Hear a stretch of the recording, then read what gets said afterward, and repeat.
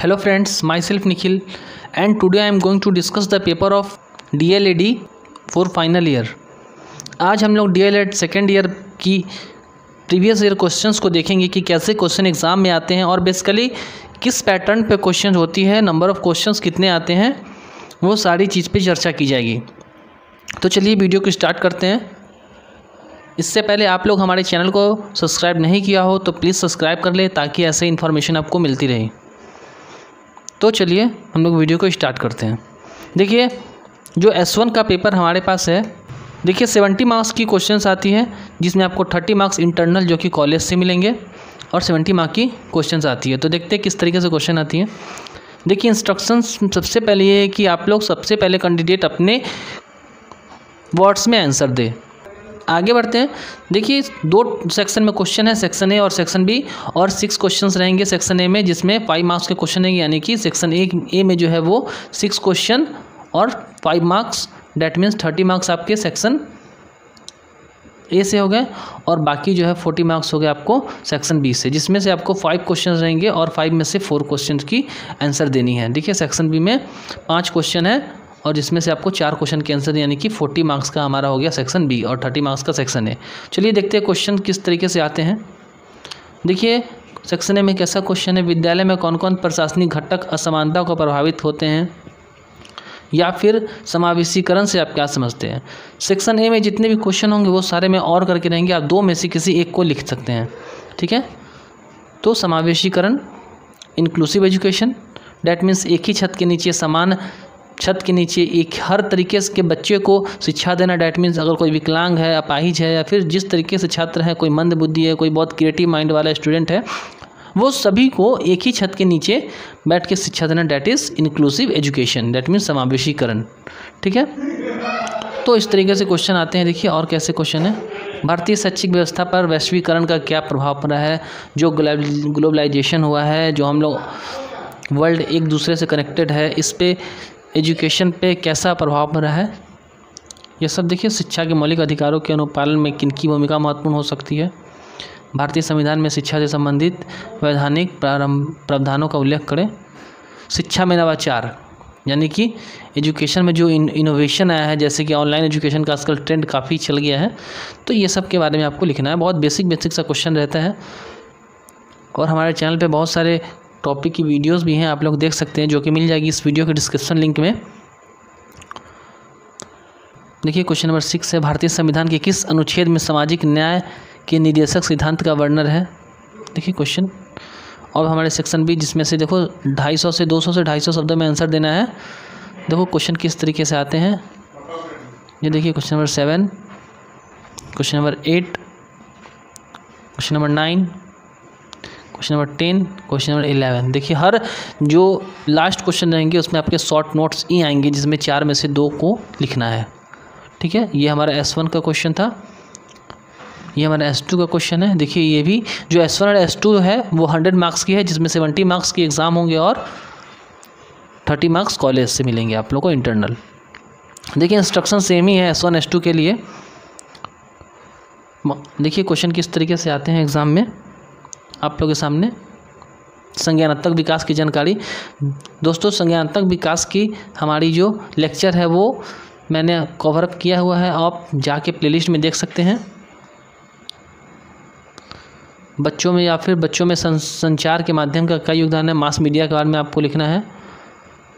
Next देखिए classical conditioning theory ये देखिए, अनुक्रिया अनुबंधन सिद्धांत पैवलव के द्वारा। ये भी मेरी वीडियो में बनी है प्लेलिस्ट में आप ये भी जाके देख सकते हैं, काफ़ी इंपॉर्टेंट है।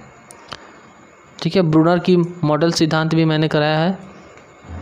क्या सीखना और सामाजिक परिवेश एक दूसरे से संबंधित है? आप अपने विचार में लिखेंगे।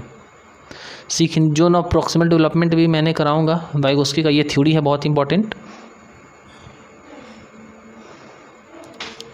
what is meaning of active learning इसका फोल्डिंग बाइगोस्की का है ये। ब्रूनर मॉडल मैं कराऊँगा।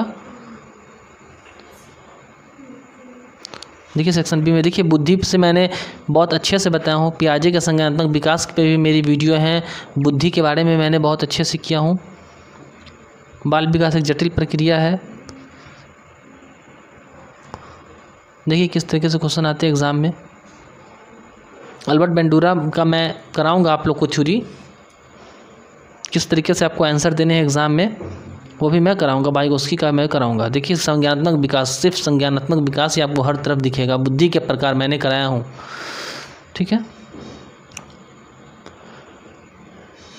चलिए, देखिए, हमारे पास एस थ्री का एग्ज़ाम जो है वो नहीं होता है, वो आपके कॉलेज में ही पूरा इंटरनली होगा। ठीक है? एस फोर में देखिए। थर्टी फाइव मार्क्स का आपका एक्सटर्नल एग्ज़ाम होता है और फिफ्टीन मार्क्स का इंटरनल होता है। पंद्रह मार्क्स कॉलेज से आप लोग को मिलेंगे। देखिए किस तरीके से क्वेश्चन आते हैं, एस थ्री के देखते हैं।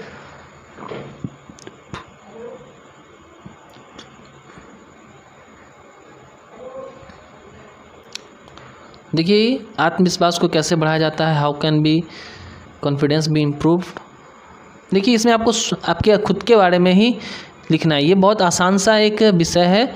देखिए, आप लोग जितने भी डी एल प्रशिक्षु हैं, उनको मैं ये कहना चाहूँ कि दो पेपर एस वन और एस टू, वो थोड़ा सा आपको पढ़ने के लिए है, लेकिन बाकी सब बहुत ही आसान है, बहुत इजी है। आप एक बार भी पढ़ के उसका आंसर दे सकते हो।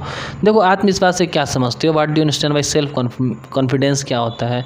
कॉन्फिडेंस और मोटिवेशन के बारे में आप डिफरेंस करना है। देखिए, एक अच्छे शिक्षक के क्या क्या गुण हो सकते हैं? स्वयं की धारणा क्या है? बहुत ईजी है। आपको शॉर्ट नोट लिखने हैं। चलते हैं अपने अगले विषय पे एस फाइव में। देखिए एस फाइव में योग है। योग के बारे में क्या है? बहुत आसान सा टॉपिक है। चालीस मार्क्स का है सिक्सटी मार्क्स का आपका। इंटरनल होगा। देखिए, किस तरीके से क्वेश्चन योग के आते हैं।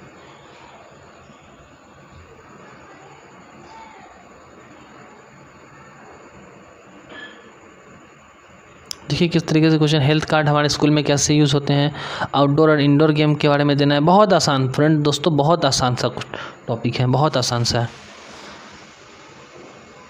बहुत आसान। देखिए किन्हीं दो पर संक्षिप्त टिप, टिप्पणी देनी है। देखिए S six pedagogy in English primary level और हाँ खासकर इंग्लिश में जितने भी बच्चों को अगर कोई कठिनाई होगी तो कमेंट ज़रूर करें मैं इंग्लिश के भी सेशन लूँगा। देखिए किस तरीके से क्वेश्चन आते हैं। मैं खुद इंग्लिश का ही लूँगा।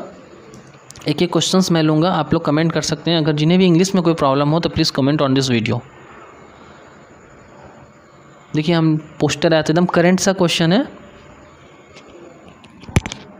What do mean by functional grammar दो टाइप के ग्रामर होता है। Formal grammar functional grammar deductive approach क्या होता है? इंडक्टिव अप्रोच क्या होता है? क्वेश्चन बहुत इंपॉर्टेंट है। मैं सारा कराऊँगा। देखिए सेक्शन बी में किस तरीके से क्वेश्चन आते हैं? देखिए एप्लीकेशन लिखना है। बहुत आसान क्वेश्चन है। Write short notes on any two of the following communicative communicative competence learning indicator for writing content oriented approach loud reading and silent reading next हमारा है एस सेवन देखिए एस सेवन में क्या है हम लोग का? गणित का शिक्षण शास्त्र प्राइमरी लेवल देखिए थर्टी फाइव मार्क्स का पेपर है। बहुत आसान है दोस्तों, देखिए। देखिए give your opinion on the statement learning from mistake is useful गलती से सीखना उपयोगी होता है अपनी राय दे। ये तो आप खुद से ही बना लोगे।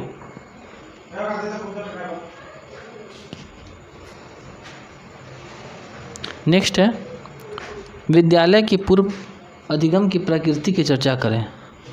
बच्चे स्कूल से पहले क्या क्या सीखते हैं मैथमेटिक्स के संदर्भ में आपको बताना कितना आसान सा टॉपिक है।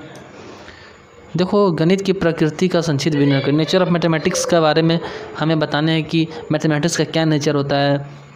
तो मैथ जो है अपने आप में बहुत एक्यूरेट रिज़ल्ट देता है। मैथ सब जगह एक ही रिज़ल्ट देता है। आप आप, आप वर्ल्ड के किसी भी कोने में चले जाओ दो और दो चार ही होता है तो ये हर जगह एप्लीकेबल है यूनिवर्सल अप्लीकेबल है।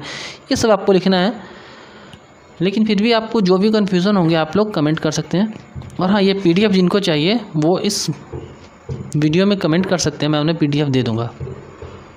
Describe the project matter in mathematics mathematics में प्रोजेक्ट कैसे यूज़ होता है उसके बारे में आप लोग को लिखना है। देखो symmetry how will you develop the understanding of symmetry safe to children बच्चों को जो सिमेट्रिकल सेप है, उसमें आप लोग कैसे हेल्प कर सकते हो? तो उसे आप कैसे कर सकते हो? तो हम लोग उसको B C D E F जो भी हमारा सिमेट्रिक है, जैसे कि ये क्या है? ये हमारा सिमेट्रिक लाइन है।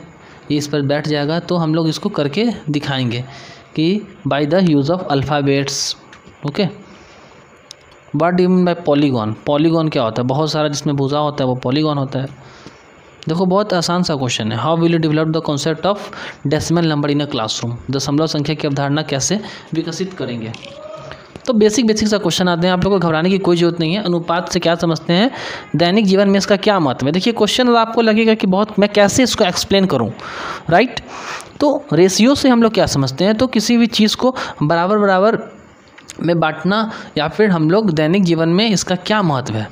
देखिए, दैनिक जीवन में इसका बहुत सारा महत्व है। रेशियो मतलब क्या होता है? किसी भी दो चीज़ के बारे में हम लोग क्या निकालते हैं? अनुपात निकालते हैं। इसका यूज़ देखिए। मान ले हमारे पास एक दवा है, ठीक है? दवा को जब हम लोग दो आप कहते हैं कि आधा खा लो तो जब आधा आधा दवा को किए तो ये भी तो हम लोग इसको रेशियो में बांटे ना, दो रेशियो में। घर में हमारे छोटे भाई बहन, अगर आइसक्रीम आता है तो कहते हैं इसको आधा आधा करो। दैट मीन्स इसको आधा आधा करो। डैट मीन्स रेशियो में बांट रहे तो ये सब दैनिक जीवन में इसका एप्लीकेशन है। बस, इसको आप लोग लिखना है। भिन्नात्मक संख्या की अवधारणा को आप लोग कैसे कर सकते हैं, ये सब आपको लिखना है।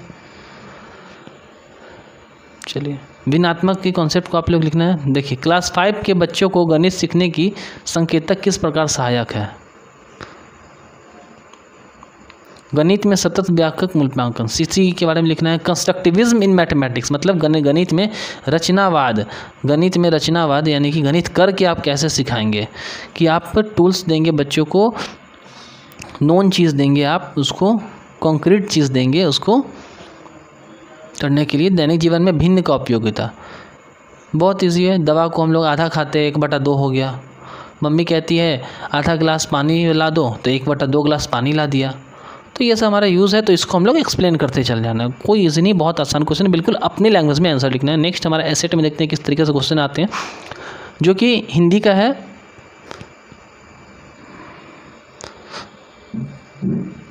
बच्चों को लिखना सिखाने में आने वाली समस्या का संक्षिप्त वर्णन करें। बच्चे जब कुछ लिखते हैं तो उन्हें किस तरीके से समस्या आती है? बच्चे जो लिखते हैं क तो कभी इधर से घुमा देते हैं। तो ये सब समस्या का वर्णन करना है। लिखना एक तरीके का बातचीत है, इस अपने शब्दों में लिखे। जी हाँ जब हम लोग किसी चीज़ को लिखते हैं तो बातचीत होता है किसमें पढ़ने वाले में और लिखने वाले में जब हम लोग किताब को पढ़ते हैं तो किताब और हमारे हमसे बातचीत होती है, इसको एक्सप्लेन करना है। सीखने की योजना की उपयोगिता पर अपना महत्व दें।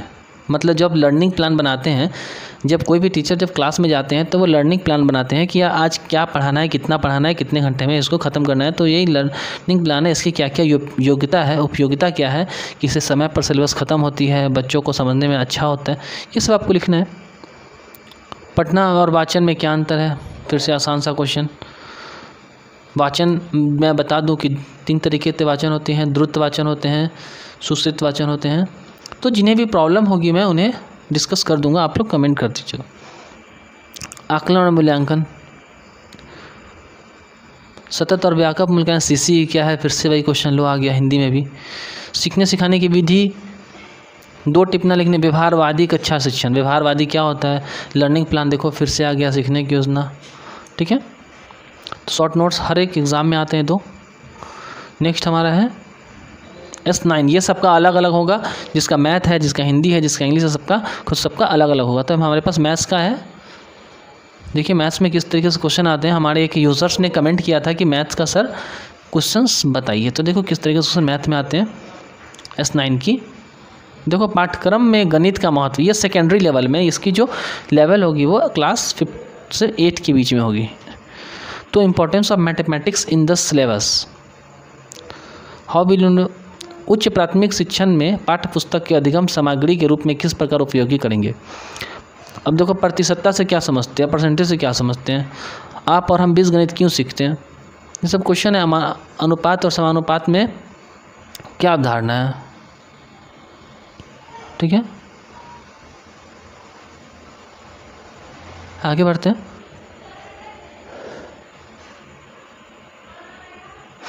ज्योमेट्री रचना में अभ्यास के महत्व करो why it is necessary through practise geometric construction जब हम लोग कंस्ट्रक्शन बनाते हैं तो प्रैक्टिस क्यों ज़रूरी है? देखो टाइप ऑफ़ ट्रायंगल को डिस्कस करना है। तीन टाइप के ट्रायंगल होते हैं इक्विलेटर स्केलन और right angle triangle on the basis of angle on the basis of side ये सब आपको एक्सप्लेन करना है, काफ़ी आसान सा क्वेश्चन है। मेन मीडियन के बीच में डिफरेंस निकालना है। देखो, किस तरीके से क्वेश्चन आते हैं एग्ज़ाम में। आप लोग देख सकते हो। ये रही D L Ed second year की क्वेश्चंस की सारी डिटेल्स तो बताइए वीडियो कैसा लगा? चैनल को लाइक कीजिए, सब्सक्राइब कीजिए। थैंक यू और हाँ जिन्हें ये पीडीएफ चाहिए, वो प्लीज़ कमेंट कर सकते हैं इस वीडियो पे। Thank you